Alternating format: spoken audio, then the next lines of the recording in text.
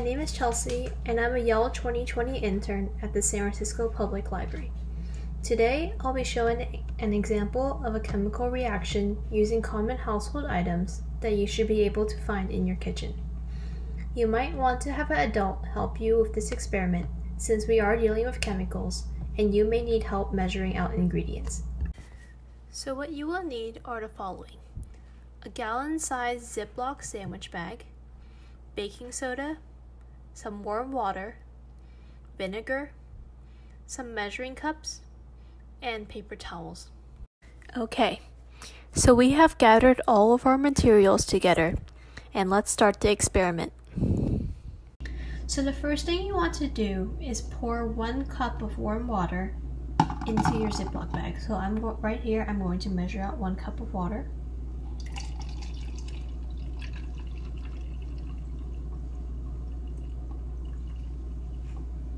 And then once I have my cup of water, I'm going to pour it into my Ziploc bag.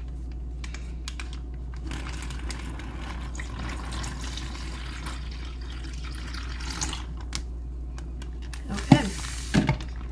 And then next, I am going to add two cups of vinegar in, and I'm going to measure out first.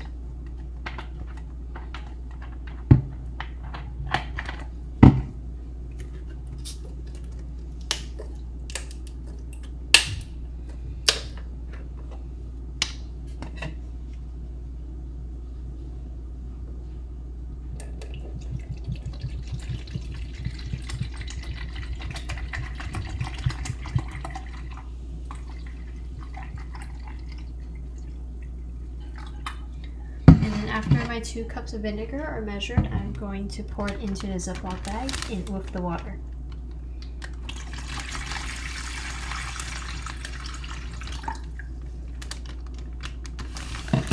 Now I'm going to Ziploc the Ziploc bag shut, but I'm going to leave a corner that's open enough to slip a paper towel in later.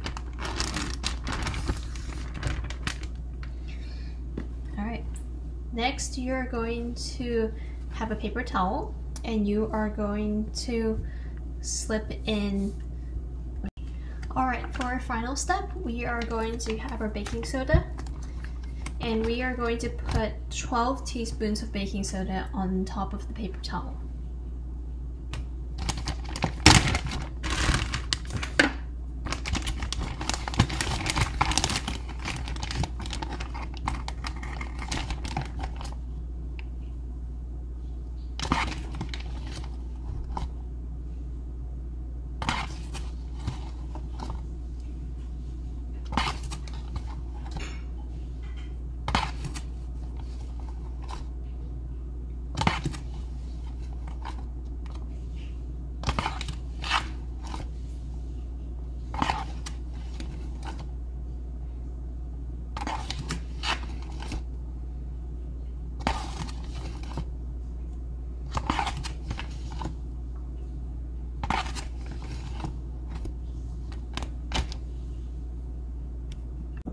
Alright, so this is our final step. I have my bag of warm water and vinegar over here.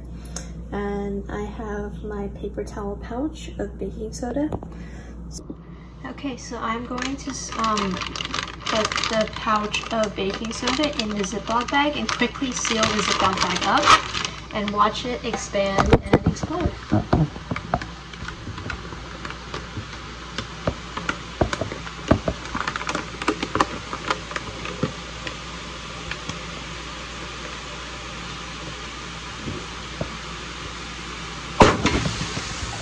Alright, so we just finished the experiment.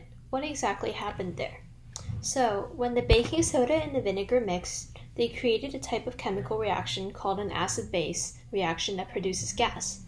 In this case, this gas was carbon dioxide, which is the gas you produce when you exhale. The gas needs more room than the actual solids, so this is why the bag kept on filling and filling up with carbon dioxide until and then expanded until it explodes. Thank you so much for watching. Be sure to check out the rest of the STEM Challenge Yourself videos by SFPL librarians and YELL interns. Thank you.